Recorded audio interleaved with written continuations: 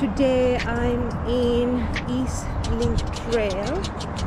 In past couple of days, uh, my family and I we had a terrible gastro and just recovered.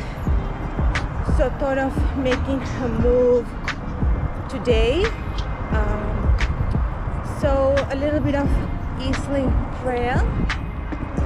Um, it runs between Ringwood and Dandenong and the total kilometers from one end to the other end of the Link Trail is approximately 35 kilometers.